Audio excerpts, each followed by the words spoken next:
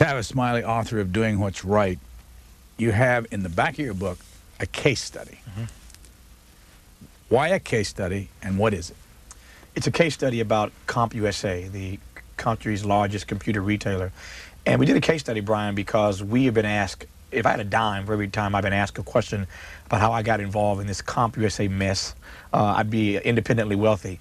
Uh, I'm a part of a radio program, as you know, the Tom Joyner Morning Show, and we engage uh, from time to time in what I call air advocacy campaigns. To make a long story short, we went after CompUSA because last year African Americans spent $1.3 billion uh, on computers and other related equipment. Uh, CompUSA, being the nation's largest computer retailer, quite honestly, was not spending any, any money really uh, to uh, market and promote their product to the African American consumer. I thought it was, quite frankly, an issue of economic exploitation. And CompUSA certainly is not the only company that, that engages uh, in what many people call NUD, no urban dictates, whereby a company tells its ad agency, don't buy advertising on black or Hispanic media outlets. CompUSA uh, maintains today they were not doing that, but the result was the same. They weren't spending any money, and yet you know, with this digital divide, uh, African Americans are catching up faster than anybody else. CompUSA spending no money on black media outlets, no black radio, no black print, no black television, and so we went after CompUSA, uh, and after a 10-week air advocacy campaign, we finally got CompUSA to the table. They hired a black ad agency. They hired a Hispanic agency. Um, they sent coupons to every person who, who I had asked to send a copy of their receipt from CompUSA back to the company to show them that uh, people of color did spend money at CompUSA. And so the case study is written because, one, it in one chapter incorporates all of the seven strategies that we lay out in the book that we embraced and used vis-a-vis the CompUSA campaign. So here's at the closing of the book, here's a case study of where we used these strategies and it worked. That's number one. And number two, for all those persons who kept asking questions, what happened when ABC threatened to take you off the air? And what really happened when you and Jim Halpin, the chairman of CEO, uh, got in that meeting? Um, all those kinds of questions I thought I could answer best by doing a case study. Time Magazine covered it, News Magazine, Newsweek, and Washington Post, and Wall Street Journal, but nobody who was involved in the process had had a chance to sound off on it and all the details, and that's why we wrote the chapter. When did the CompUSA event take place? It took place uh, last year, 1999. It came to a head, as I recall, around September of October when everything finally got worked out. Uh, it had to be around October because we agreed to have a three-month meeting after we closed the deal with CompUSA to make sure that they, in fact, did follow up and did do the things that they had promised us they were going to do. We had that meeting a couple of weeks ago, uh, and CompUSA, ironically, uh, not ironically, CompUSA did, in fact, uh, do all the things that they said they were going to do. But here is where the ironic uh, part comes in. Here we went after CompUSA for not, three or four months ago, went after CompUSA, as I said, for not advertising on black or Hispanic outlets. And when we sit down for our three-month meeting, which is actually about three and a half months, we sat down for the meeting. We come to find out that CompUSA has just been bought. And you know who bought them? A Mexican firm. So here they were, not going after Hispanic or Latino audio, uh, consumers, black consumers, and we finally get back to check on their progress. They've been bought now by a Mexican firm. So Jim Halpin, my dear friend at CompUSA, is now reporting to somebody who speaks Spanish. So the irony is that you, got to be careful. Uh, we say in, in Ebonics in the black community, there's a phrase, Brian, we use. I know you don't know this stuff. There's a phrase we use called player hate. And that means to disrespect someone. So you got to be careful who you player hate on today because they may buy you tomorrow. And that was interesting. You know, we sat back down with him, you know, that now he's reporting to a guy who uh, speaks Spanish. Kind of funny. Who's Tom Joyner? Tom Joyner is one of my dearest friends, um, and quite frankly, uh, and honestly, is the uh, person on radio who's heard by more African Americans every day. Uh, he has a program called the Tom Joyner Morning Show. You know some of his story. The background is very fascinating. Um, his nickname is called his nickname is the Fly Jock. Um, when you listen to the program, he says, "This is the Fly Jock, Tom Joyner," and he got the nickname the Fly Jock because for seven years he flew between Chicago and Dallas every day, five days a week, to do two radio shows. He did morning radio in Dallas and an afternoon show in Chicago. For seven years, he picked up seven million frequent flyer miles, but it took him seven years to convince somebody in this country that a black man could do a syndicated radio show like a Howard Stern, like a Rush Limbaugh. You know, our show is not similar to theirs, but it, we, we, play music and we do commentary. It's a program that we say uh, is about entertainment and empowerment. He's the entertainment component. I'm the empowerment component. Seven million listeners, 100 markets, uh, the most listened to black man in America on radio every day. But it took him seven years to convince someone that he could do a radio show in a syndicated way and that it would work. ABC Radio Network finally bought into that. ABC put him on the radio. He makes more money for ABC Radio now because he owns uh, urban radio in this country. And so Tom and I came together about four years ago, having been introduced to each other at the White House by Bill Clinton. I knew who Tom was. Tom knew who I was. We never actually met. We had a reception at the White House, and the president very casually says, Tom, you know Tavis? Tavis, you know Tom? That's how we met. Tom read one of my books. He said, come on the radio show, talk about this issue. I went on one time. It turned into a regular commentary. Now here we are four years later, still together. And we were honored just a few weeks ago uh, to receive the NAACP's highest award at the Image Awards. Tom and I received the President's Award for the advocacy work that we've done over the last four years. We were quite humbled by that, and we laughed about how we met, how we came together. Now, four years later, here we are winning awards for the work that we're doing, which humbles both of us and makes us feel good about our efforts. How old is Tom Joyner? Oh Lord, I can't tell you that on the air, Brian. This, is, on television.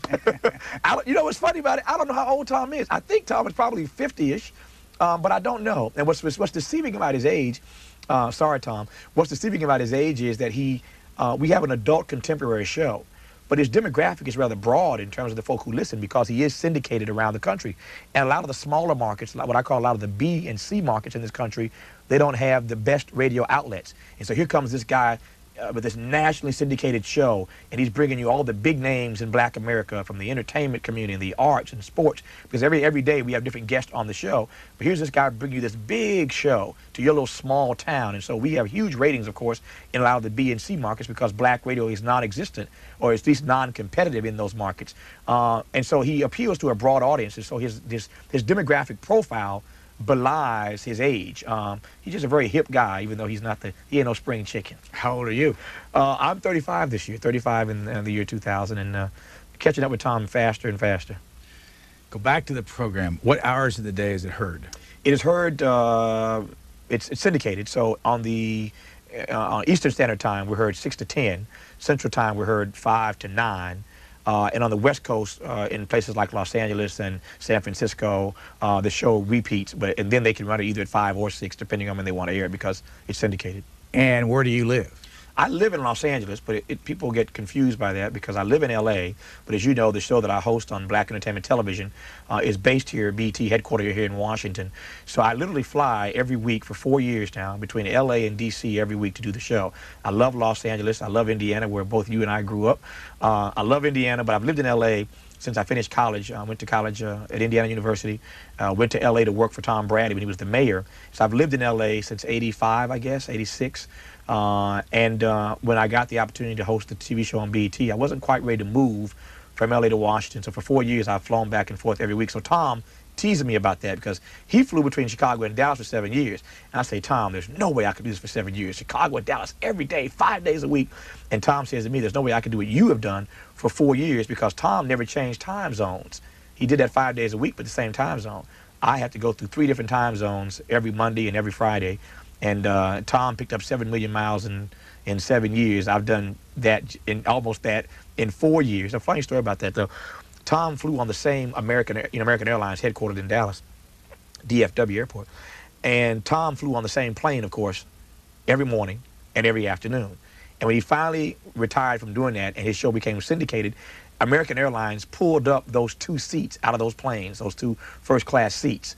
Uh, and when you walk in Tom's studio, uh, if you're sitting there to be a guest on the show, whatever, the two seats that are available for you to sit in are those two American Airlines chairs. And he gets asked all the time, why do you have American Airlines, these air, you know, these airline first class seats in the hall? What, what is this? And so he had to put a plaque on the wall for those who did not know the Fly Jock story to explain why those American Airlines chairs are sitting in his hallway. How uh, many minutes are you on every morning? Um, that's that's the remarkable thing about about our advocacy work. I am only on the program two days a week. Tom's on four hours, as I said, Monday through Friday. I'm only on Tuesday and Thursday mornings, primarily because of my own choosing. On Mondays, I fly to D.C. So Monday's a travel day. Friday is a travel day. Uh, my TV show is 11 to midnight. I got to have one morning a week to sleep in, so I choose to sleep in on Wednesday mornings. Uh, so Tuesday and Thursday mornings are really the only days that I can do it with and, and, and stay halfway awake. So I do it only on Tuesday and Thursday mornings, and my commentary is similar to Paul Harvey. If you've ever heard Paul Harvey, my commentary is no longer than Paul Harvey. Uh, my issues are different. I have much more a cutting edge. Um, I'm humorous at times, uh, but I really deal with issues, uh, uh, issues of social issues, political issues, economic issues. But I do all that in a less than a 10-minute format. Again, similar to what Paul Harvey does, uh, but with a lot more edge. And that's how that's what I do. But the remarkable thing is that only being on two days a week for a small amount of time, um, the impact that our efforts have um, doesn't even compare to the, the, the little uh, comparatively speaking, the little amount of time that we actually spend on the air. But it's a remarkable thing, which I think goes to show not how great Tavis Smiley is, that he can have this impact with, you know, less than 20 minutes a week on a radio show. What it shows is that people want to be empowered. While there is a lot of apathy in our community, in this country, uh, Brian, there are a lot of folk, I think, who want to make a difference. They just don't know how to make a difference. They don't know what to do when they decide that they really want to do something. But I believe that information is power. Knowledge is power. And once you put that information out there, you put that knowledge out there, folk know what to do with it. They embrace it, and they'll use it uh, for their betterment. Do you have a family? Not, not married, uh, no kids as yet. Uh, I've been dating someone for a little while, and I'm starting to feel the squeeze. Uh, so I think I've been given. I think I think the other day I was actually given an ultimatum. I'm not exactly sure uh, if that's an ultimatum or not. Is she West Coast or East Coast? She's East Coast, uh, and uh, it kind of felt like an ultimatum. Uh, but no, I'm not married, no kids. I am from a large family, as you know. I have nine brothers and sisters, and grew up in North Central Indiana. Uh, and so I, I have more than enough uh, family uh, in an extended sort of way to have kept me from starting my own at, at, the, at the time. I look forward to, you know, to being married and having some kids, but as I said earlier, this flying thing between LA and DC uh, makes it really, really tough to do anything that you really want to do, including dating. Uh, and anyone I've had a chance to, uh, to go out with or to date is it takes a lot to, to deal with me because I just I'm in the air so much between LA and DC. Why do you think you write books why do you think you host a television show on BET? Why do you? Why are you an advocate on the Tom Tom Joyner show? I, it's a good question, Brian. I think I am because I think that's what God wants me to do. I don't mean to be sacrilegious about that. What I mean to suggest by that is um, that every one of us has a role in life to play. I believe, and I, I write in this book, as you know, um, there's a parable in the Bible called the parable of the talents, and I draw. I, I, I, gave a speech about that once, and I put I took some of the tenets of that speech and put it in this book. Uh, the point basically is that all of us come into this world resident in our spirit, in our bodies, with a talent and a gift from God to make a contribution. All of us has a role to play. There's a difference that we can make on something that matters to us. Uh, and I believe that the talent and the gift that I've been given is one to empower people, to try to, what I call the three E's, to try to enlighten people, to try to encourage people, to try to empower people. I had no idea as a student at Indiana University that I'd ever be involved in media. I was a political science student. I thought I'd spend the rest of my life in public service, either working for an elected official, perhaps being one myself, but somehow I'd be working in the public sector. And then, out of the, uh, not out of the blue, but then comes this opportunity to do radio and to do television and to do print, uh, to have written now my fourth book, things I never planned to do. I never took a telecom class, and yet I'm on TV and radio. I never studied journalism, and I've written four books. I believe that as the parable points out, that if you use the gift, use the talent God has given you, your talent will make room for itself. That means this, that suggests that when you perfect the one thing you're good at, the one gift that God has given you, it opens up doors for you to do other things. And I had no idea that the doors would be open to do the radio and the TV and write the books, but the doors have opened. Uh, I've never asked for a radio job. Tom Joyner found me. I didn't ask or didn't audition to be on BET.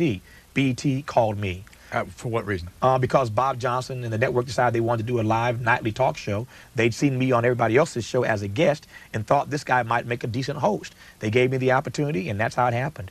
Uh, I didn't submit a proposal to write a book. Uh, a book company, one of the big ones in New York, contacted me and asked me if I'd ever thought about writing a book. I said no. They said, well, we got a quarter million dollars for you. I said, you know what? I got an idea. I think I can do something with this. Um, so I've been fortunate, you know, to have had opportunities come to me. And I think, again, that that has happened because my role is to try to make a difference. And these opportunities have opened themselves up for me to do just that. Uh, you made a lot of money already? I've been very fortunate. Uh, I had no idea ever that I'd make the kind of money uh, that I'm making. Um, I've, been, I've been very blessed. I've been very fortunate. And you know, my friends tease me all the time. I get asked all the time, Do you, "Are you ever going to run for office? Uh, do you ever see yourself as an elected official?" And if any of my dear friends are, are around, they, they, they would they jump in right quick and say, "No, not anytime soon, at least, because as long as the money's rolling in, we got to take the money, uh, save it." And it's it's funny, but it's also serious. I believe that many of the elected officials, and I, I let me back up. I believe that public service is still a noble profession, uh, despite there, you know there's a great deal of evidence to the contrary. Uh, but I believe that public service is still very noble. I believe, though, that if you have the chance in your life, I understand these rich guys, Brian, I'm starting to get this. If you have the chance to make some money first and to save some money and invest some money and make yourself financially sound, later in your life when you want to be of service, you want when you consider public service, you don't feel the financial pressure. I mean, these congresspersons make what, 150, 170 a year? I know now, having done this for four years, how expensive it is to travel back and forth every week. I live in a hotel here in D.C. four days a week, uh, and again, the company picks up a lot of these expenses. But I'm just I'm just talking about if I didn't have a company doing that, like these members of Congress do not, the temptation for graft and greed uh, becomes greater. And after all, we are not human and divine; we're just human. But I think that having some money uh, makes it easier to be a public servant later on. Uh, and so right now, I'm going to ride the wave and stockpile as much as I can, and maybe somewhere down the road, if public service offers me an opportunity that I think I can be uh, empowering uh, uh, in that venue, then I would consider it. But you were on top at Kokomo High School, weren't you? I mean, you were the president of the well, yeah, student, I was, student uh, council? Yeah, in, in, high school, I was president of my class and president. I went to a school called Maconaquah right outside of Kokomo, and I was president of my, my class and on the student council and voted most likely to succeed. Uh, and all of that uh, was wonderful. And I talk fondly about that some in this book, but I think more in one of my previous books called Hard Left. I talk about that experience growing up in, in Indiana. And the remarkable thing about it for me, I look now, for example, at all the race issues that we have in this country. Racism, I believe, is the most intractable, the most egregious, the most divisive issue in this country. I look back through my own experience as a kid, and I never really had any experience with racism. I went, and, and the remarkable thing is, growing up in the cornfields of north central Indiana, as you well know, wasn't a lot of black folk hanging around. So I was like, you know, there were, there were, for example, 1,200 kids in my high school. Of the 1,200, only 26 were black. And keep in mind, there are 10 kids in my family, you know. So we made up the majority of those black kids in the school. Uh, and yet every year, these white kids, every year voted me class president. These white kids voted me most likely to succeed. These white kids, you know, lifted me up as the guy who best represents us. And here I am, you know, black, they're white, and it never became an issue. Uh, to this day, I have many of my friends from high school who still keep in touch with me, or they see me on television. I can I can guarantee you, somebody right now from Maconaquah High School is watching this program, and I'll get a letter next week or a phone call from one of my former classmates. Saw you with Brian Lamb, you know, it happens all the time, and this relationship still exists. Uh, the point, I, the reason I share that story is because I don't believe that racism is intractable. I said earlier, it's one of it, it is certainly um, it's divisive, it's egregious. Uh, I would put it on the list of the most intractable, the most difficult issues. But I, and I should perhaps should not have used that word because it's, it's misleading. I don't believe there are any intractable issues. I believe that on everything we can make progress. I figure if it ain't God, we can fix it. If it ain't God, we ain't got to be afraid of it. If it ain't God, we can actually do something about it through advocacy. Um, but I look back on those high school days in North Central Indiana very, very fondly. Um, and, I, and it always encourages me, reminds me that as difficult as these race matters are, I know that we can make a difference on these issues. Where are all your brothers and sisters? Ooh. Uh, How? What's the age? Where do you fit? Uh, Pam. There's Pam, who is now 37, 38. There's Pam. There's Phyllis, Tavis, Garney, Paul, Patrick, Mari, Doobie, Scooter, and Dion. So there are 10 of us. Uh, and everybody is in everybody is in Indiana except for myself, of course. One brother who went to Morehouse Fine College in Atlanta, liked Atlanta, decided to stay there one sister whose husband plays professional basketball overseas, so she's in Europe part of the year and back in the States part of the year. One sister in Tennessee, and everybody else, the other. So I guess there are, what, five of us outside? I guess it's even now. Five outside of Indiana and five still back in Indiana. Where's mom and dad? Mom and dad still back in Kokomo, Indiana. Now, you say they're divorced? They're, they're divorced, and don't ask me why. After all those kids and, um, and uh, all those years of, of being married, uh, they got divorced. Uh, which you, you asked me earlier on a personal note about my own my own personal situation, whether or not I was married and have kids. Um, that kind of backed me up a little bit. After all of my, after all those years and all those kids, and I saw my parents get divorced. uh, it made me, it backed me up a little bit and kind of made me really think harder about my choice um, when I decided to get married and have kids. Uh, divorce is a traumatic thing, and I hate to see kids dragged through that. I know what it did. I, at the time of my parents' divorce, was just finishing up college. Um, but I have, you know, as I said, I have seven younger brothers, and a few of them, it really challenged them, I think, emotionally. Uh, and I really would hate to see my own kids one day drag through that situation. So it's kind of made me much more, uh, um, much more, uh, make, make, made me think a lot more about the choice I want to make. Where, where do you think you get this ability to lead, the ability to be visible? I don't know. If, I don't know if it is an ability to lead um, or be a public person. Yeah. I, I, I like talking. I like running my mouth. When Where'd you a, get it? I, I, don't know. When did you start it? My mother runs her mouth all the time. Uh, maybe I got it from my mother. Uh, I remember as a kid, I must have been four or five years of age, and one of my aunts or cousins, somebody was around. I forgot who it was exactly, uh, but I was just running, running off at the mouth. And one of my, one of these older, one adult, one of these adults, said to me, "Boy, do you ever shut up?" why, why do you talk so much? And I just shot right back because I got a lot to say. Uh, and I guess I run my mouth so much because I have a lot to say. And I guess God figured if, if I'm going to run my mouth as much as I do, I might as well let this, if this boy ain't going to shut up, I might as well put his, put his verbiage to good use, try to empower people. Um, I, I, believe that, uh, uh, that, again, that information is power. I believe I'm a conduit to put the information out there. And as you well know, being in media, uh, when you put that information out there, and particularly when you do what I do, you make a call to action, a call to arms. You say, you know what, this isn't right. And we are the ones who ought to do something about this. When you make those calls and people start to listen to you, and Tavis Smiley says something on radio, and 7 million black folks start writing and start calling and start faxing and start emailing, and then you're on TV every night, and that whole strange thing of how folks respond to you, how people respond to you when they see you on television and, and then see you walking through an airport. I know you get this all the time. It, it, it, it kind of puts you out front as a leader, as a spokesperson, even though that's not necessarily what your mission was. You end up taking on that responsibility. And so I, I, I take it on seriously and I try to act responsibly with it. Go back to CompUSA and the Tom Joyner Show. When was the first moment that you thought you ought to do something about CompUSA? Um, the moment I heard about it, uh, from the moment I heard about it to the moment we actually did something was almost a year. And, and it's a funny story, not a funny story, but an interesting story, I guess. There was a year gap in between there because what originally happened was there was a memo written at a company called Katz Media, the Katz Media Group, that became got a lot of national publicity on this memo. Somebody at this Katz Media Group, one of the largest, you know, largest ad firms basically in the company, in the country rather, somebody in that company, someone higher up, had written a memo instructing the staff at Katz Media to tell their clientele, these corporate advertisers, not to buy black or Hispanic radio. And they wrote on this memo a lot of reasons why you should not buy black or Hispanic radio.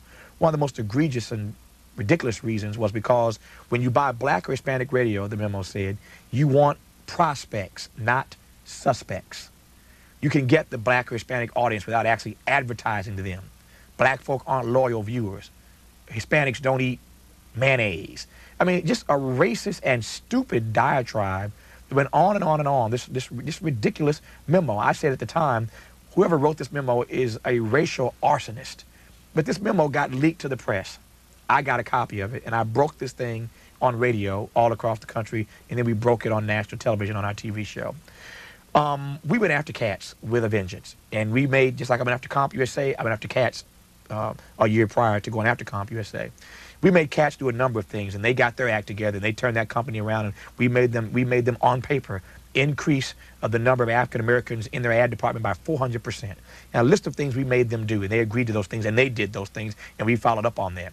But at the time of the Katz memo, we asked them for a list of the worst offenders you know, you guys are, were, were, stupid to have told these folk in a memo not to buy black or Hispanic radio. But now that you've done it, I'm just curious, who are the worst offenders out there? Give me a list of the folk who really practice this no urban dictate. Folk who tell their ad agencies, I don't want to buy black, I don't want to buy Hispanic. Tell me who these folk are. CompUSA's name originally surfaced on this list that we asked for of people who uh, were not really doing a lot to reach out to black or Hispanic consumers. Why would they give you those names? Uh, because at the time I was their mortal enemy. and I'm the guy on radio every day. I'm the guy on TV every day talking to all these people with the power to just continue to berate them uh, and to dog them if I wanted to every single day. I think they were feeling some some pressure, and they were in a mode to be much more cooperative then than they might otherwise be. And did you talk to Katz in person before you did it on the radio, or did you just go after him on the radio at first? We went after them immediately. Um, we verified that the memo was written by an executive at Katz. We verified that it was a Katz memo, and at that point, you know, we went after them. There was no need at that point. And, and originally, let me, let me just say this. When I, when I say I went after them, I didn't go, when I first became aware of the memo, we broke the story on radio and on television. And just breaking the story in and of itself got people riled up. So I want to just backtrack and, and say that it wasn't even necessary for me to go after them, so to speak. When I say I went after them, we put the word out there. Now, CompUSA was different. CompUSA, when we went after them, which we really did do, we went after them, they put their head in the sand. And for 10 weeks, every day on radio for 10 weeks, I was riding CompUSA every day. How could you guys not advertise in black media? What did you spend last fiscal year? What are you going to spend next fiscal year? Can you please call us and answer that question? No phone calls, no faxes, no email, no communication from Katz from uh, CompUSA for 10 weeks every day of a radio campaign. Katz didn't have that problem. When we went after them, they got back to us pretty quickly and we got them on the right track. But CompUSA, for some reason, I learned later on, as I say in the case study, Jim Halpin, the chairman of the company, told me it was it was fear. They did not know exactly what to do. They were frozen. Uh, they said we obviously got to do something about this. But they originally thought if we don't acknowledge this campaign by this little black kid on radio, this thing will eventually go away. It'll eventually dry up, and that didn't happen. How did they know that you were having an impact? The mail, the fax, the phone call, uh, phone calls, uh, the email, um, the receipts. We, at one point, three or four weeks into the campaign, not getting a response from CompUSA, ask our audience if you've ever shopped at CompUSA and you have a CompUSA receipt, don't send me the receipt. I want you to keep it because you may need to take something back to CompUSA one day. But send me a copy of that receipt. We collected boxes and boxes and boxes full of thousands. We, we collected just, you know, an inordinate number. I don't know the exact number because I never counted them, but there were a bunch of them. And we, packed, we packaged those receipts up and sent those receipts to CompUSA to let them know that black folk do spend money at CompUSA. Uh, people of color do spend money at CompUSA. So it was basically the correspondence they were receiving uh, via phone, fax, and email that made them know that something was going down. And then after a few weeks of doing this, they started getting media calls. Is it true that you guys aren't doing this? You know, and then when the mainstream media started calling, they knew then uh, that it was it was getting out of hand. Now, Tom Joyner's syndicated on ABC. A the ABC radio network. Have they weighed in at any point in this process saying we don't like this? They weighed in at one point, uh, and it, was, it, it got ugly. Uh, and what really got CompUSA to the table was something rather ridiculous, uh, to be blunt about it, that ABC Radio Network did. Uh, and I always feel uncomfortable talking about this because I, I, still work for the ABC Radio Network, but so be it. Um, in the ninth week of this 10-week campaign, CompUSA called the ABC radio network. Uh, and it's unclear uh, as to what exactly was said. But basically, the conversation was this. The guy from CompUSA calls the head guy at ABC and says, you need to get these guys off our back every morning. You know, we don't like this.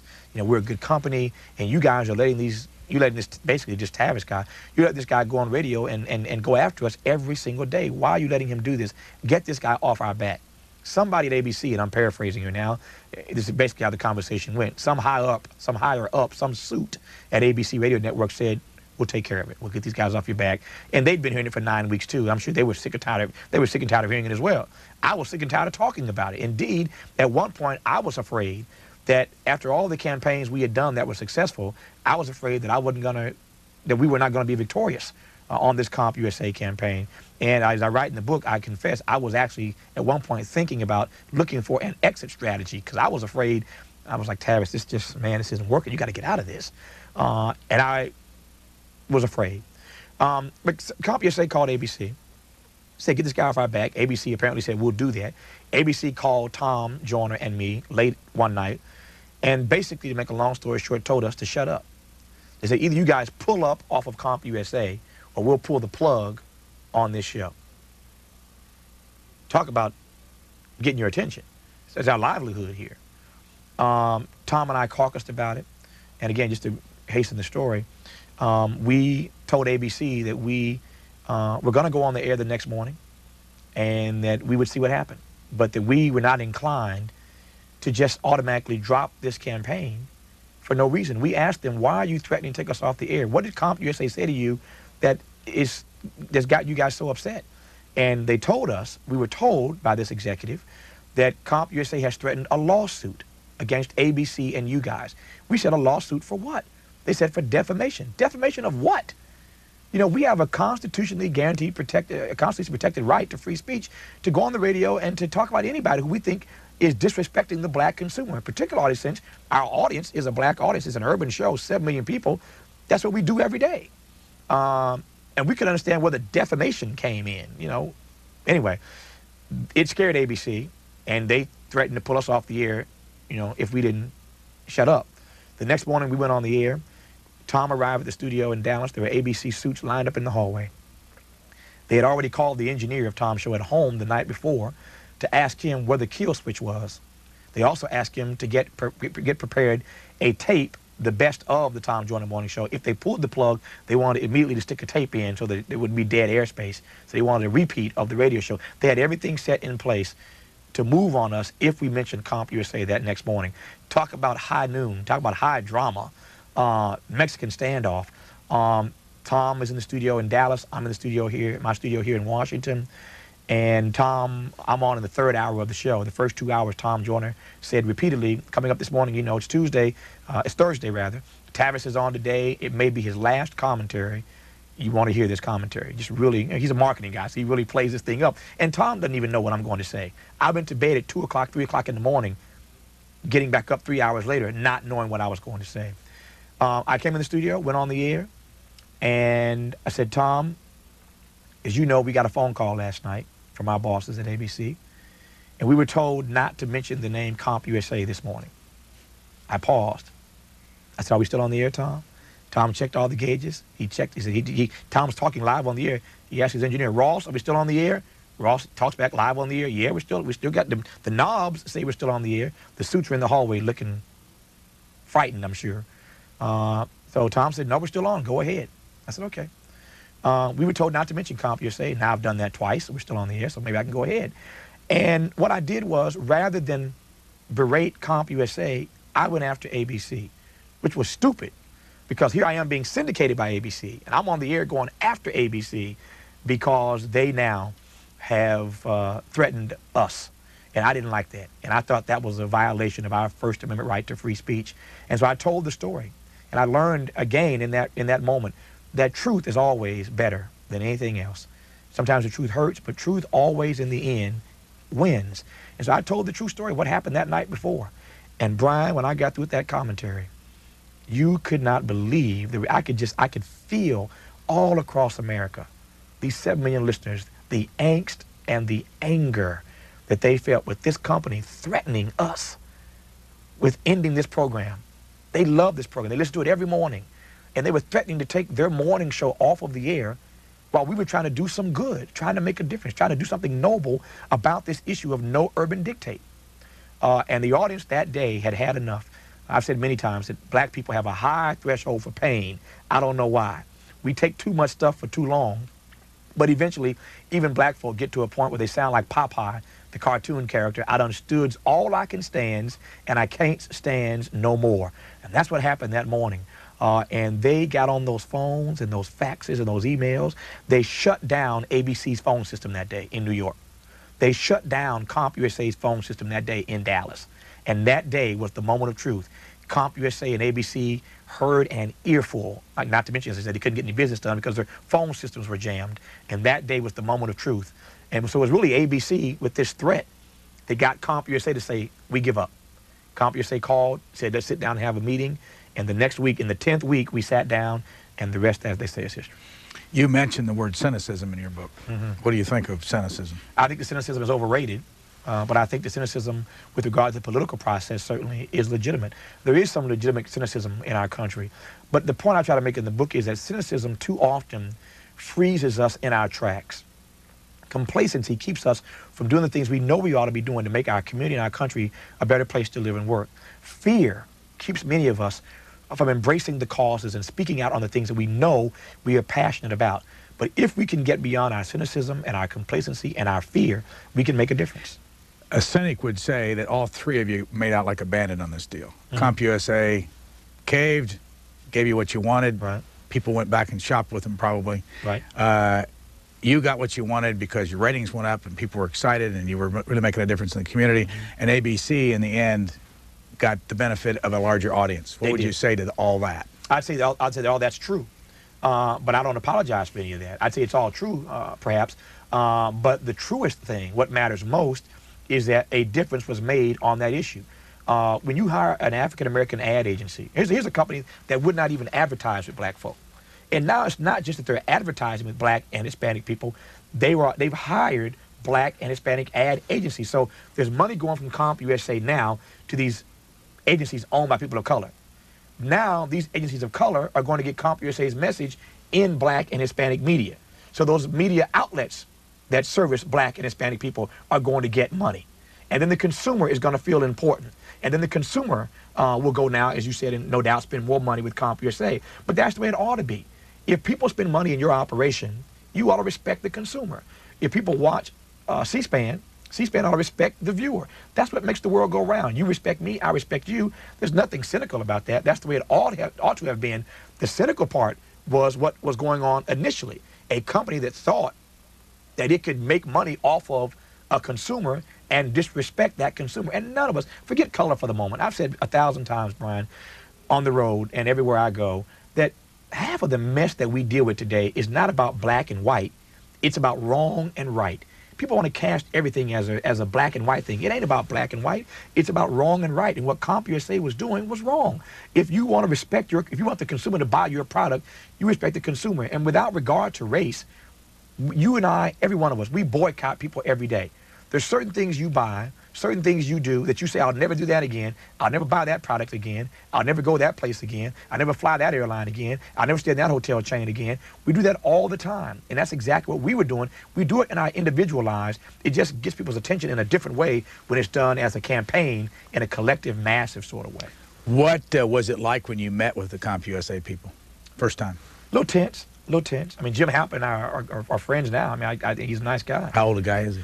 Uh, Halpin maybe early 50s, mid 50s. A very sharp guy, sharp guy. Um, it was a little tense. He was afraid. Uh, the, the, the, interesting thing that always comes back to my mind is, and I don't, I, am not bragging about this, and I, and I felt bad. I, I felt bad, and I apologized to him profusely.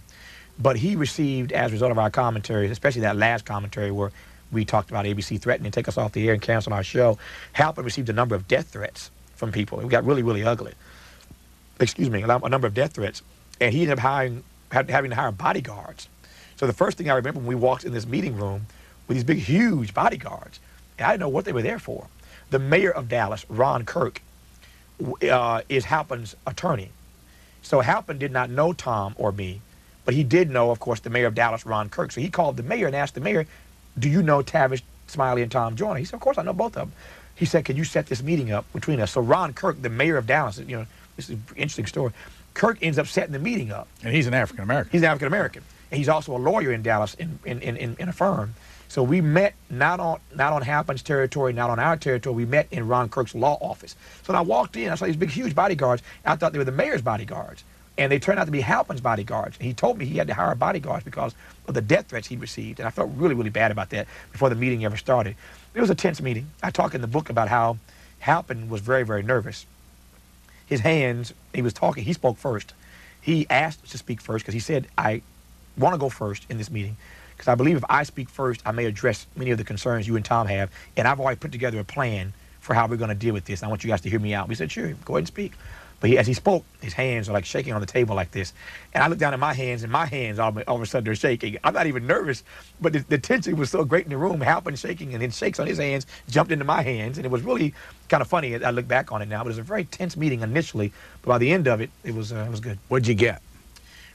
The, the uh, hiring the ad, black ad agency, hiring the Hispanic agency, a multi-million dollar commitment to advertise uh, in the black and Hispanic media markets, uh, 10% coupons just in time for Christmas before before anybody would send in a copy of their receipt. So there were a lot of people who went in to buy those computers who got a nice piece of change off of the purchase price of the computer, thanks to the people at CompUSA. Um, Halpin came on the radio program. He apologized uh, to our audience, and he made a clarion call, which is very important. Clarion call to other CEOs to not underestimate the power and the value of consumers of color. That sent a it sent a message out that a lot of CEOs heard. And again, because this campaign had gotten so much publicity, and Newsweek and Time and the Wall Street Journal, everybody else was writing about this campaign uh, in print uh, and on television, indeed. Uh, Tom and I were we couldn't keep up with the interview requests from people who wanted to talk to us about this campaign, particularly when we when he came on to apologize and announce the deal that we had worked out. Um, it sent it, it, it, sent reverb, it sent shockwaves and a ripple effect throughout the corporate throughout corporate America. And there were other companies a week later who didn't want to admit that it had anything to do with us. But a week later, companies started calling press conferences announcing that they were hiring black owned and Hispanic owned ad agencies. American Airlines comes to mind, since I mentioned American earlier. They announced literally one week later that we're hiring a black owned ad agency. They were asked by the media, does this have anything to do with Tom Joyner and Tavis? I said, oh, no, no, no. We were already planning to do this. But there are a number of companies that stepped up and announced that they were going to reach out to consumers of color. So it, it, it had the desired uh, result.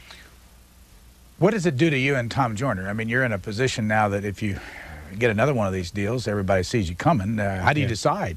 Well, we, Tom and I use a sports metaphor all the time, and we say all the time, let the game come to you.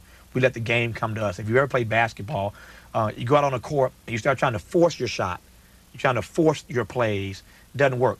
But when you run the play that the coach has designed, and everybody picks and rolls, and everybody gets to their spot, you get open, and the point guard will find you. All you got to do is get open, and I'll get the ball to you. You, you let the game come to you. And that's what we do. We let the game come to us. We don't go out looking for people to beat up on. We don't go out looking for folk to cuss out on the radio. Uh, that's not what our mission is. Every day, as, as a matter of fact, uh, as I point out in the book, we do relatively, relatively speaking, we do very few of these on-air campaigns. I've been on the show for four years now, and I've done maybe six air advocacy campaigns. The majority of what I do every day, as I said in a Paul Harvey uh, comparative style, uh, is to do my, my commentary, my thoughts on all kinds of issues that don't necessarily require a campaign every day of telling folks to fax and email. Plus, you can't get away with doing that every single day. If you're going to ask 7 million folks to write and fax and email and try to make a difference on something, it had better be a very, very serious uh, and egregious issue that they will understand the need for them to get involved. Uh, otherwise, you do this every week, nobody's going to call and write and fax every single week. So that's not even the majority of what I do. But every now and then, something so so uh, blatant and so wrong happens that we feel that we have to uh, do a campaign around this issue on air to make a difference on this particular issue. But uh, it's not what I do every day. If someone buys your book, it's not a large book, 143 pages, mm -hmm. I think. Um, do they get the, the blueprint in here on how to a do what you've done? Absolutely. Uh, I note that a few weeks ago you had my friend Cornel West on for his book, The Cornel West Reader, here on Book Notes. And I love Cornel, but I, I, tell people all the time, my books are not like Cornel West book. I tease Cornel all the time. When you read a Cornel West book, you got to put the book in your lap and keep both of your hands free because you, need a thesaurus in one hand and a dictionary in the other hand to understand what Cornel's saying half the time because he's so deep like that. And I love being challenged by Cornel's work. My book, though, is exact opposite, the antithesis of, of, of, a, of a Cornel West book. It is a book that is, that is straightforward to the point. I'm one of those persons who uh, writes in his own voice, so to speak. If you ever have heard me on radio or you watch me on television, uh, the way I speak is the exact way that I write. And so it's simple, straightforward, easy reading, uh, and that's, uh, that's the way I like to write. Here's your dedication for Tom Bradley, Big George Hughley, Hughley mm -hmm and Daisy M. Big Mama Robinson. Mm -hmm. Start with Big Mama. Who is that? Big Mama was my maternal grandmother who 90 year, uh, passed away at 90 uh, last year. Uh, and I dedicate the book to her. As you know, I closed the book with a quote from her. Uh, she said to me all the time, uh, Tavis, once a task you have first begun, never finish until it is done. Be the labor great or small, do it well or not at all. Uh, and I use that quote all the time uh, from Big Mama to remind people that if you ever uh, decide you want to make a difference, once you start the task, you got to see it through. Uh, and so I use that quote all the time, but there's so many things she tells me. She tells me, uh, told me all the time um, that there's, uh, there's some fights, Tavis, that ain't worth fighting, even if you win. There are other fights that you have to engage in, even if you lose. And all of us have grandmothers and grandfathers and grandparents and great grandparents who impart who have imparted wisdom to us. And I try to share as much of that as I can uh, with, with, people uh, uh, from the mouth of my, my big mama who I miss so dearly. Where did she live? She uh, was uh, was born and raised in in, the, in, the, in Mississippi, um, uh, the daughter of a sharecropper. Uh, in her older age, she moved to Indiana to live with us so that my mother uh, could take care of her. And she lived with us in Indiana for the last, I guess, 20 years of her life. And uh, she, again, passed away uh, in Indiana uh, last year. And my mother, uh, we took her body back to Mississippi to intern her in her beloved state of Mississippi. How did your parents get to Indiana? Uh, my father was in the Air Force at uh, stationed at a, base, a place called Keesler Air Force Base down in Biloxi and was transferred from Keesler up to a place called Grissom Air Force Base in north central Indiana, a place called Bunker Hill, Indiana, like the Battle of Bunker Hill. So that's where I was basically raised in Bunker Hill, Indiana. Uh, and uh, there came to be so many kids. I said there are 10 of us. Uh, we first moved to Indiana, there were two of us. Uh, and uh, you know, years later, there were ten kids, and it would have been it would have been an economic hardship to move around to move around that many kids from one Air Force base to another. So we did not have the experience that many Air Force brats, as they like to, as, as they're often called, we didn't have the experience of many Air Force kids of moving around the country and moving around the world because there were so many of us. Again, it would have been such an economic hardship. And I look back on that fondly and not so fondly. I, I love the fact that I got a chance to grow up in a community and make friends in that community and go to one high school uh, and graduate from that high school. Uh, a lot of Air Force kids don't have that. You know, they get tired of being moved around all the time, making new friends, different places. But as I've gotten older and got a chance to travel, I like the idea of moving around and learning things and meeting people and living in different places. Uh, so I don't know which was better. In the end, I suspect that being able to stay uh, stationary uh, probably was better for me. Uh, but uh, that's how we got to Indiana. How did you get to meet Senator Birch Bayh? I was a 13-year-old kid. there was a guy in my church named Doug Hogan who was a local city councilman in Kokomo, Indiana, but he was also the superintendent of our Sunday school department. Uh, and I got a chance to learn firsthand how noble public service really is by hanging out with this guy who was a councilman in our city, as I said, but also a member of my church. And Doug Hogan was friends with Birch Bayh. Uh, Birch Bayh came to town uh, in 1980 uh, on a campaign style. He was being uh, up for re-election, running against a guy you may have heard of named Dan Quayle.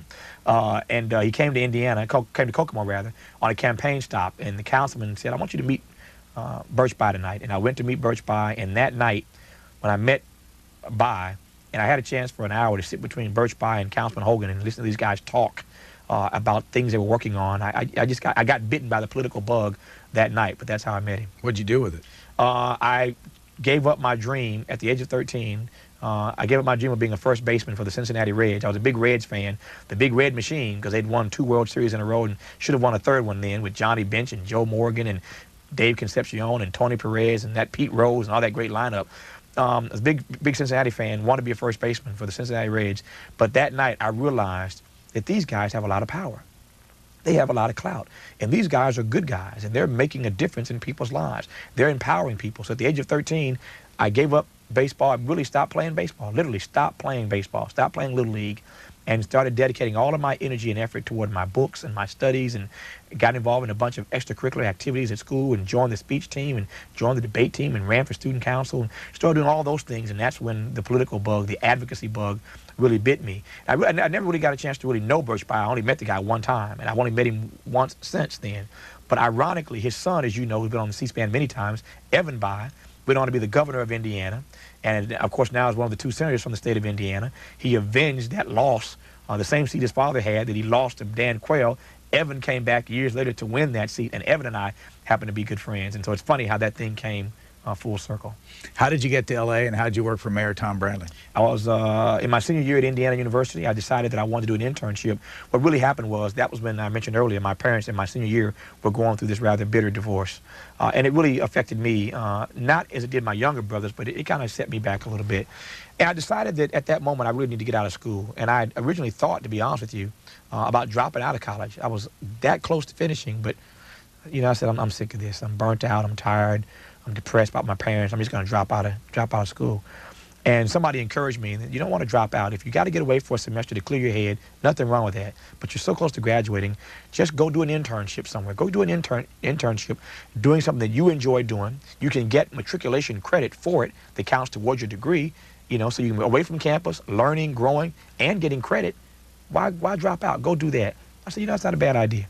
Uh, the problem was they didn't tell me that it was going to take me nine months of writing a letter every day, of calling every day, of using my scholarship money to fly to LA three times to sit in the hallway begging to see this guy named Tom Bradley, who nobody would let me in to see because they thought I was some crazy kid from Indiana. I wasn't a UCLA grad. I wasn't a USC student.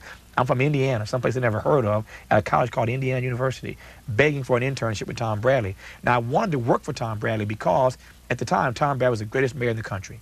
He had done the 84 Olympics taught the world how to really put on a great Olympic show, had made money for the city. The Olympics had bankrupt, you recall, the city of Montreal. But Tom Bradley had a $200 million surplus when he got done with the Olympics. This guy named Peter Ueberroth ran the Olympics, went on to be the baseball commissioner. Tom Bradley showed the world how to host an Olympic Games. And not to mention, this guy was a fraternity brother of mine. I'm a member of a fraternity, fraternity called Kappa Alpha Psi. Tom Bradley is not just a member, but was indeed at one point the national president of our fraternity. And so I thought, here's a guy who I really want to work with. And again, it took me nine months from January of 85 to September of 85. I wrote and called his office every single day. Flew out there three times, begged to see this guy. They blew me off. Uh, never, did, never did get a chance to see him. And one day, after nine months of begging for an internship, a free internship, by the way, after nine months of begging, I got a letter from them, from somebody in the office, some bureaucrat, saying, We have received your letters. But at this time, we have no internship positions. They've already been filled. Like, what do you mean been filled? Nine months I've been writing and calling. I flew out here three times. Nobody would talk to me. And now you tell me that the spots are filled? Oh, no, we're not going to have that. I didn't know what to do because I'm back in Indiana. I get this letter, and I'm just in tears when I'm reading this letter. So I had, had been writing Tom Bradley all these letters. Uh, God, God rest his soul. Have been writing all these letters as any student would do professionally. I typed them, made sure there were no errors. I typed my envelope. I did everything I like I was supposed to do, um, and mailed these letters off. I had said this day, something told me, forget the formal stuff. You just need to write Tom Bradley a letter. And I sat and wrote him a letter and told him how disappointed I was, that I had done everything I could have done. I'd written and called, and I flew out there to see him. And they wouldn't let me talk to him and meet the guy. I was stalking Tom Bradley, and they wouldn't let me see him. I wrote a letter in my own handwriting. I recall it was in blue ink. While I'm writing the letter, I'm so overwhelmed and so upset and so overcome. I started crying while I'm writing this letter. And my tears fall on the page. The ink starts running on the page. And I finished the letter anyway, kind of sopped it up, dried it off, put it in the mail, and sent that letter to LA. That was the one letter, after all the professional stuff I had sent, which got nobody's attention, that one handwritten letter got Tom Bradley's attention. It got on his desk. He got that letter. He called me personally. Uh, my roommate said, uh, Tavis, you're not gonna believe this, but there's a guy named Tom Bradley on the phone. I ran to the phone and I'm just like speechless. It's the mayor apologizing for the bureaucracy that kept this thing going, uh, telling me that he was going to have one of his aides call me that same day uh, about the internship. His aide called me. And again, this guy still didn't get it. The aide calls me later that day and says, Well, our internship positions are filled, but the next time you're in LA, you come by and you see us, and we'll try to get you hooked up for an internship somewhere down the road. Uh, I said, the next time I'm in LA, he said, yeah, the next time you're in LA, you come see me. I borrowed some money. I was in LA within 48 hours, sitting in that guy's office waiting to see him. And he came out and was flabbergasted to have seen me that quick. And um, they sat down and talked to me. He marched me downstairs. I met Tom Bradley. And that day, we put together an internship program. I went back to Indiana, loaded up my little 280Z, my little Datsun, which I still have in LA. And I drove out by myself to California and for one semester, I interned for Tom Bradley, and it was that internship with Tom Bradley that opened up all the doors for all the stuff that I'm doing now. Well, you say in the book uh, that the Smiley report that you write goes to 3 million people circulation? I have a newsletter uh, that comes out every quarter that we pass out on the road everywhere I go. It's free of charge. Uh, but people still want more. Again, there's a lot of apathy, but people want to make a difference. They want to be empowered. I try to do that through books. I try to do it through television. I try to do it through radio. Uh, but now I have a newsletter that we send out every quarter. And I pass it out at all of my appearances on the road for free. But you can also get it free by coming online. If you come online and order it, we'll mail it to you uh, every quarter. Uh, and so um, we send out copies all over the place of the newsletter in addition to the books and speeches and everything else we do. What do you have, advertising in? it? How do you make money on that? Uh, it's funny you should ask that. Uh, originally, I was eating the cost. Uh, it was a good marketing tool. It cost me some money, uh, but the marketing and promotion of it offset the cost out of my pocket to do the newsletter. Uh, but I'm, I'm pleased to say now, and I've not even said it publicly because it hadn't happened yet, uh, but we just signed up with the Ford Motor Company uh, to sponsor the newsletter. And on the next issue coming out uh, here shortly, Ford Motor Company now for the next year has committed uh, to doing that newsletter as, it, as its chief sponsor. And again, I always knew it was a quality piece of work. It was just a matter of time before I could convince somebody else, hey, I'm passing this thing out to a whole lot of people. It makes sense for you to get in a venture with me to promote your product to these people. And so that's finally happened. Just a couple minutes. What are your What are your big dreams? Uh, to keep trying to make a difference. Uh, I, I, feel passionate about trying to empower people. Uh, and I believe, again, that all of us has the capacity to make a difference. I say all the time that service is the price we pay for the space that we occupy. To whom much is given, much is required. Uh, we have a lot of access, a lot of opportunity in our country these days, but there's still a lot to be done. I don't know anybody who lives in a state of utopia. All of us would love to see something in our community, something in our community made better. And that's what advocacy is all about. Is there one thing, though, you'd like to do specifically that you haven't done? Mm, not particularly. Run for office? Not particularly. Just keep, you know, I, I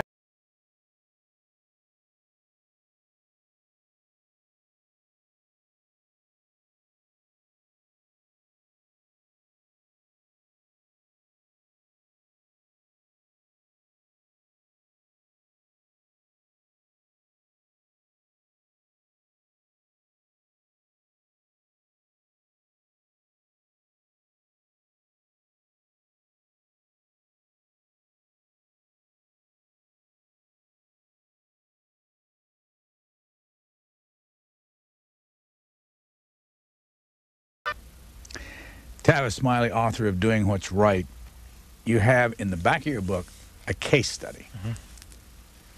Why a case study and what is it? It's a case study about CompUSA, the country's largest computer retailer.